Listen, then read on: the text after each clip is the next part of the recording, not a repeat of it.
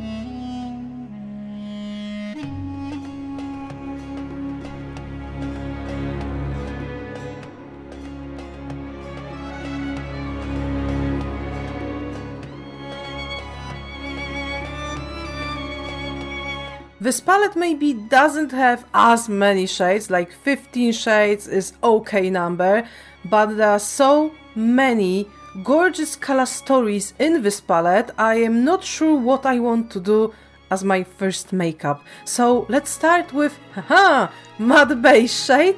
I'm taking shade Oaza. When a palette has matte beige shade, it's like plus one to being a good palette. Of course I'm kidding. Like matte beige is good to have it. It's nice for cleaning makeup, especially under brow area. That's why right now I'm applying it only under my brow area to set this area. Rest of my base will be sticky. But of course this is not mandatory shade, but it's great when especially bigger than only 9 or 12 eyeshadow palettes uh, contain this shade. This palette is like super complete palette because it has matte beige shade but also it has matte black shade so it's like super complete. I'm taking shade Pył. This isn't matte beige, this is absolutely like mm, beigey brownie shade, transition shade. It will be visible on my complexion because I am super pale, but if its pigmentation is okay, then it also should be visible on others. It should be just treated as a very gentle transition shade. Yeah, it is here, very gentle. I bet this shade is amazing for daily makeups. Just this shade shimmer on eyelid and daily makeup ready. So first I contour my crease and above crease area. Okay, now I'm taking shade Wezyr. Honestly, this shade didn't want to swatch well, but I hope it will be okay on my eyelid. The best example of eyeshadows that swatch absolutely horrible and they are amazing on eyelids are um, shades in all Carnival palettes. Like swatches aren't the best, but the shades themselves are very very good. And here I think it's the same because this shade is very nicely pigmented on eye. Also the color itself, it's very nice. I like shade like this. It's something like mm, a little bit cherry brown shade. Like it is something reddish in it. Okay, I'll apply it also on my lower eyelid from the other corner and also middle. I don't have any particular plan for this makeup, I just want to play with these shades and see what will happen. Now I'm taking shade Szeherezada and I'm applying this shade on my lower eyelid on the middle. Ooh, this is a nice shade. You know, this palette has um, on the one hand, this palette has a lot of different shades, like there is orange and a little bit like greenish shade, but at the same time, these shades are a little bit like muted. Like there is something um, not muddy, more like like they have a little sand in them. I'm adding like gentle hue of this little like dirty, dusty rose dusty. That's maybe the word I was looking for. Dusty. All these shades look like a little bit dusty shades, which by the way is very cool. Now I'm taking Arabica and I'll add it in my outer corner. Let's see how well these shades blend with each other.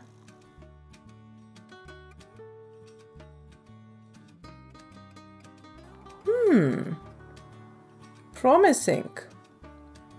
Uh, it's not that this shade isn't um, pigmented.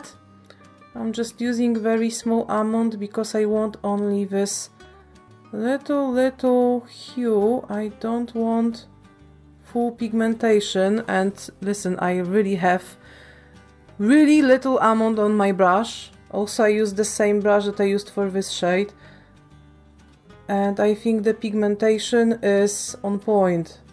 Now I'm taking Róża Pustyni. And this shade I'm applying on my lower eyelid, inner corner.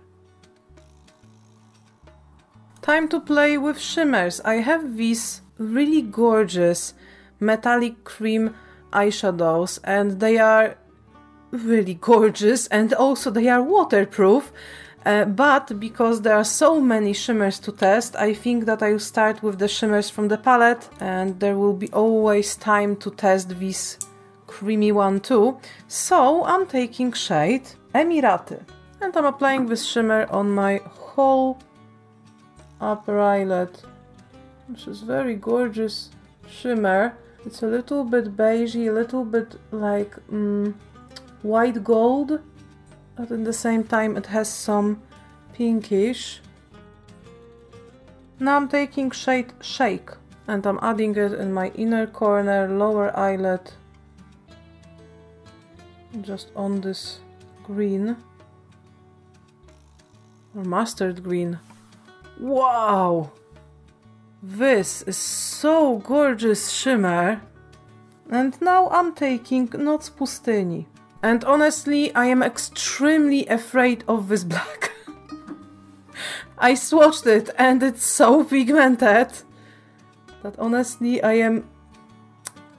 Well, I am a little bit afraid of it. Like, you know, it's good to have good and gorgeously pigmented black, but I just wonder if it's not too much, because it's really pigmented, like really pigmented. I'm blending it a little letter C. I feel like this black is gently patchy or shades that are under it or it's over pigmentation but when I'm touching it I made whole and I really don't like it. This black is like apply me and don't touch me. Sometimes it is the issue with extremely pigmented eyeshadows. Like these eyeshadows from, for example, uh, Anastasia Beverly Hills Subculture palette. These eyeshadows were crazy pigmented and some of them just acted this way. So apply me and don't blend me, don't touch me because I'm going to be patchy. Huh.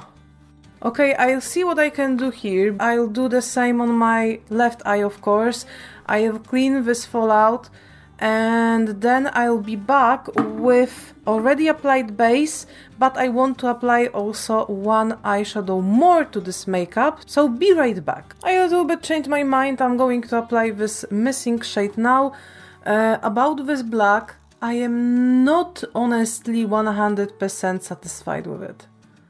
It's nice black, but I really wish it to be less pigmented, but not patchy. Like patchy black is a tragedy for the makeup artist and for just people who love makeup and play with it. Like, mm, the only issue I want to have with black is that I don't know, I applied it too much and now I have problem and everything is dark.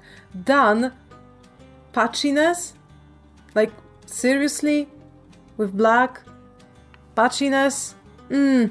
Better option would be to make this black less pigmented, but uh, you'll be able to build it up, than to make it super pigmented, but mm, well, it's beautiful black, but to shame it's a little bit patchy. Of course, I'm going to test it more because this patchiness isn't like uh, very, very bad, but unfortunately I see it and it bothers me a little bit. Now I'm going to test this eyeliner in pen. So this one, the tip is not a brush. The tip is felt, you know, this kind of sponge, let's say. It's not a brush.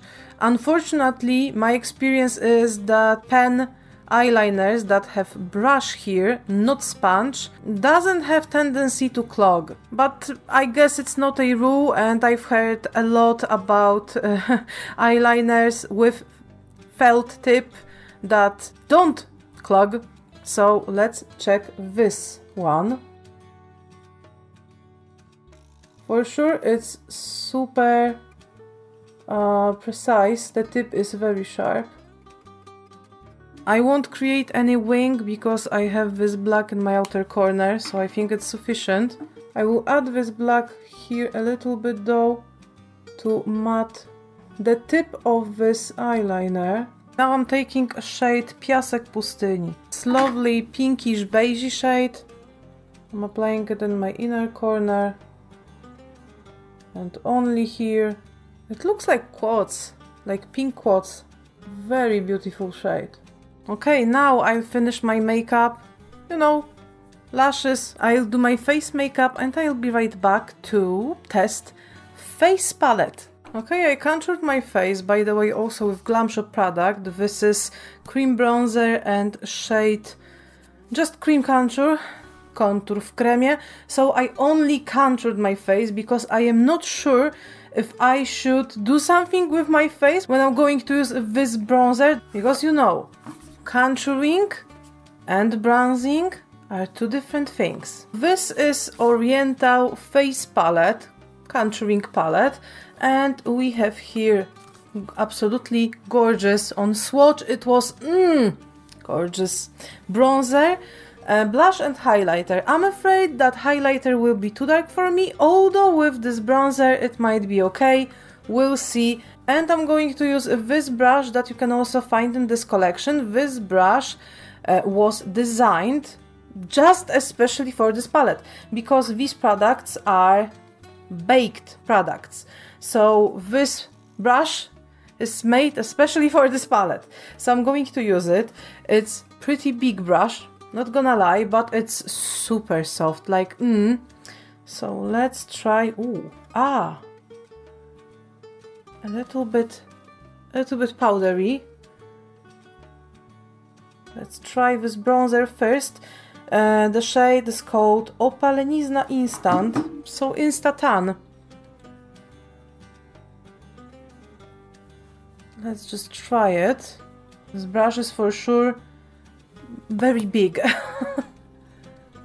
which is fine, but I am not used to use such big brushes. This bronzer, from what I know, is pretty interesting because first of all it can be built up. I am super pale so I'm not going to add it a lot because honestly I am afraid that I'm going to hurt myself with such a big amount of bronzer but you can build it up and also it looks differently um, depending from what angle you look at it. It can be a little bit lighter, a little bit darker and also it's a little bit luminous. It's very pretty. Very pretty. This brush also is very good brush. Maybe a little bit too big, at least for me, but very nice one. Okay. Maybe I add a little bit more of this bronzer, why not? It's just nice color. So why not to use it a little bit more? yeah. It looks good. Oh, it looks very good. Wow. Now blush. This shade is Satinowy Rouge. So just satin blush I'm going to use the same brush and let's apply it okay it's pigmented it's pigmented it's a little bit like duochrome. Oh, definitely. Ooh, it will be so good for so many makeups. It's between pink and peachy. I think I applied it too much. Let me quickly comb it, at least here under my eye area. This is just translucent powder nothing special. You can apply uh, a lot of product with this brush. Baked product aren't that easy to apply on brush. I have some baked blushes and believe me, you need to a lot of times just scratch surface of this blush to apply anything on brush. So this brush is absolutely great to apply these baked products, but it's super big, so it's not very much precise. That's why for the highlighter I'm going to use just my normal highlighter brush. Uh, this is shade Cielisty Połysk.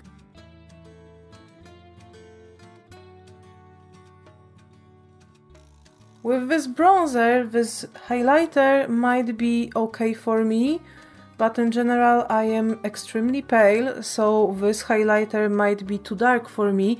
Um, the color shade is like Amrezy highlighter, you know, these kind of highlighters. They are super popular and a lot of people love them. Unfortunately, I am too pale for such color. It's like uh, shade Amnesia, Skin Glazing by Nabla. This kind of shade. So it's not dark shade, it's just a little bit too dark shade for me. The color is a little bit champagne gold. And yes, it will be a little bit too dark for me. I can see on the bridge of my nose that it is a little bit too dark, which is fine. I bet it will be okay for you. I still keep highlighters like these because they are still okay when I use a lot of bronzer. So this shade is very similar, for example, to this shade I have. And I still keep this highlighter, although it's too dark for me. This is Amnesia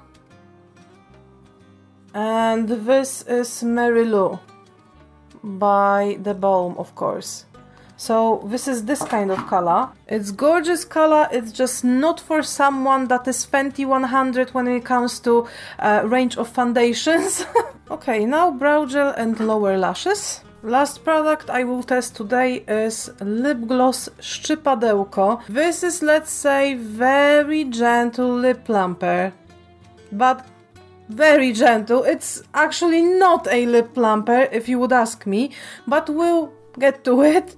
I'm going to share with you all my thoughts and opinions about the products or shades I tested today. I've tested it off camera because the ingredients that are in this product are like a little bit lip plumping, so I was curious how this lip plumping effect works. If it works, I'm going to apply it as lip gloss on other lipstick. So let me first apply my lipstick. Of course, I'll use brush because I don't want to transfer anything to the packaging. So the thing is that this lip gloss, first of all, it smells like mint and the smell isn't subtle. It's not super intense, but it's not for sure subtle. That's the first thing. And second thing, of course, it's not blue, okay? On your lips, it's not blue. Don't be excited. it's a little bit like oil. A little bit. Not like really oil, but for sure it's super uh, not sticky. Like really super not sticky.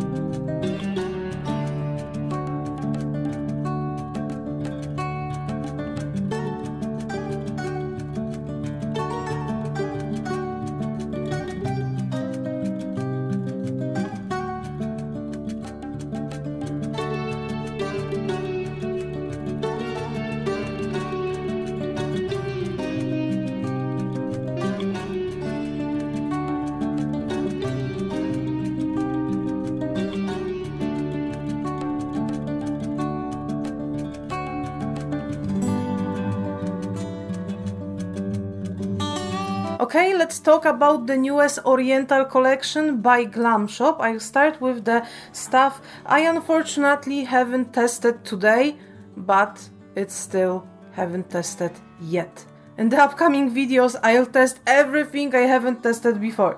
So, first of all, uh, ha, ha, ha, eyeliners. Three shades, brown, uh, let's say that reddish one and black. The most important thing is to keep them close and not expose them to the sun. That's the very important thing you have to know.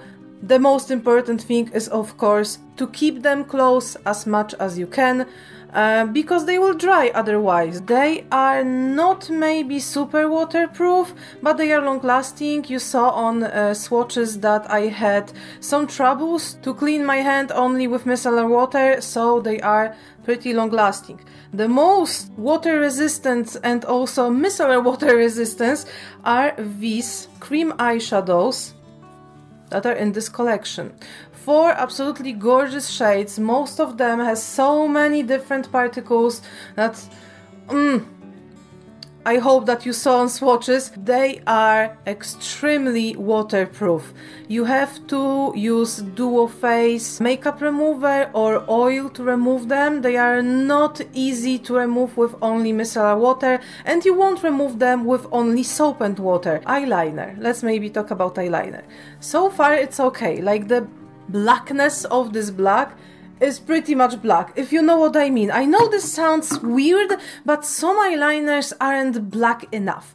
This one is for sure black enough. The tip is extremely uh, precise and it's comfortable to use, but unfortunately I can't tell you today if it will clog or not. Most of the time when I use these kind of liners, then the issue of course aren't matte shades, but shimmer shades and glitters. We'll see how it will be with it. Unfortunately, I don't think that I will be able to give you the right answer if this eyeliner will clog or not in the upcoming couple of videos. Sometimes it's like two, three uses and it will clock and sometimes it's like a month to three it's okay and suddenly it won't work anymore. So I think that I'll at some point do just one collective video with update of some just makeup products including this eyeliner. It doesn't feel to be this kind of eyeliner that likes to clog, but I can't predict the future, so we'll see Right now I can for sure recommend it. If you like felt, this spongy applicator, then this might be also eyeliner for you, especially that you know it's Glam Shop, it's not expensive. Now let's talk about the lip gloss. So Szczypadełko, this is oil-based lip gloss with ginger extract. So in general it should be a little bit lip plumping. And honestly this lip plumping effect it's not as serious as with uh, Nabla lip plumper Viper it's not like that. You feel a little bit pinching on your lips but this feeling isn't uncomfortable. And this is also oil based so it has some oils that are caring for the lips. So I would say that this is not lip plumper, but lip gloss with a little lip plumping effect, very gentle, but more like nourishing and moisturizing your lips. Next is the face palette and the brush. So the face palette is wow, it's so wow. The bronzer is so must have, I love it, it's so good. The color is absolutely great, so natural like sun-kissed skin. I love it absolutely and also the biggest okay from my point of view is that you can build it up. I was really a little bit slightly afraid that it will be too dark for me, especially that I've seen it uh, on owner of Glam Shop on Hania, and on Hania it looked so dark, and I was like, well, Hania isn't so pale as I am, so hmm, I think we have a problem. No, we don't have a problem. This bronzer is just stunning and can be built up and on my complexion, on my extremely pale complexion, it looks good. I would even say that it looks great not only good. So that's very big plus. Uh, blush. Blush unfortunately i a little bit took it too much but it doesn't matter. Blush is also very pretty and this is this kind of color that will match to a lot of different makeups. This is just a peachy uh, gold uh, pink blush. It's just this universal blush. Of course, it won't match to every single makeup, Come on, there are some exceptions, but most of them. And highlighter, nice glow, very nice highlighter. Unfortunately, like I said, a little bit too dark for me. With this bronzer, however, it's okay. I don't see this uh, this shadow here. If you like these kind of highlighters that I mentioned in this video, then this highlighter will be also okay for you, like I said. I am super pale, but I bet you are not as pale as I am. and of course, brush is super cool if, and I bet that this is the case, if rest of Glam Shop brushes are like this, like this quality, then Glam Shop brushes are actually pretty good. This is some sort of like uh, imitation of natural hair because it's vegan, like you know that, I hope. This is just wow! So good quality. Uh, I actually don't have brush that is so good uh, and so perfect for baked products. So if you also have some issues with doing this constantly, trying to take a little bit at least on your brush, then maybe this brush would be your savior. Unfortunately, it's super big, but it's the matter of technique and mastering some skills. Uh, I think I'm going to use it for some of my blushes. For highlighter, for me at least, maybe a little bit too big. For bronzer and blush, it's okay. And like I said, like the quality is this softness. Gorgeous. And the last product, so probably the star of today's video, the eyeshadow palette. Oriental. Of course, the packaging itself is super beautiful and really atmospheric. And let's talk, of course, about the eyeshadows. So, if you haven't noticed yet, we have here very cool, not only color story but also placement of eyeshadows. Because you can read this palette like so. And another three, and another three, and another three. You can use it like columns and that's super cool. Also, this shade is satin, so it's probably good for your outer corner. Uh, of course, I try it. Um, that's why it also lies uh, among these matte shades. I like placement of eyeshadows that makes sense and this is absolutely gorgeous from the lightest to the darkest and also with the columns middle row it's only with shimmers that's just mm, the aesthetic you know what I mean so what I really enjoy about this palette is no chunky eyeshadows. I'm sorry, but Glam Shop very much like to create these uh, a little bit chunky eyeshadows. Like I'm not talking about these super flaky ones. I'm talking about these chunky eyeshadows that you can find in Pokusa palette in the previous 15 shades palette Pokusa Seduction. I also have video with it. And I get it those more chunky eyeshadows are very pretty very blinding but I mostly adore shades that can work with brush without any issues.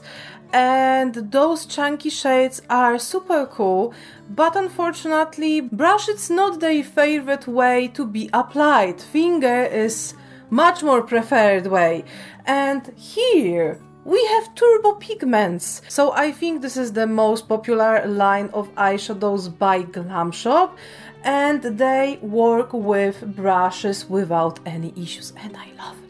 I absolutely love it that I can use what I want. I want finger, I will use finger. I want brush, I will use brush. This way I can use brushes from biggest to the smallest one to create more detailed work and I won't have a lot of fallout. I won't have this chunkiness all over my face. This is why I really adore this palette. Of course, when we are talking about uh, quality in general, this is just Glam Shop quality, so you know it's good. The only but that I have in this palette is unfortunately this black. It's not bad shade like 100% because it's super super super extremely pigmented and actually I don't see this patchiness like in every inch of this eyeshadow that I have here on my eyelids but unfortunately I can see some patchiness. So this shade is for observation. This shade is under the big question mark because I don't have a right answer right now for it if this is a good eyeshadow or not. Of course I will test it, but if by the end of this whole review, this whole review series, I won't be able to say if this shade is really patchy or not, I will do ultimate test.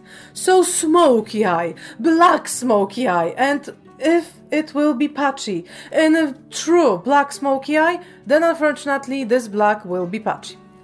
But this ultimate test is far for now. For now I can for sure recommend this palette uh, because even if this black is a little bit patchy, I'm not sure if this isn't maybe the fault of oversaturation. This black shade has this shade underneath, so for now, like I said, I won't judge this black shade as much, let's say. You know what, this palette is super cool because it's super colorful, but in the same time these colors are a little bit muted. I would even say that this palette is like colorful daily palette, if you know what I mean.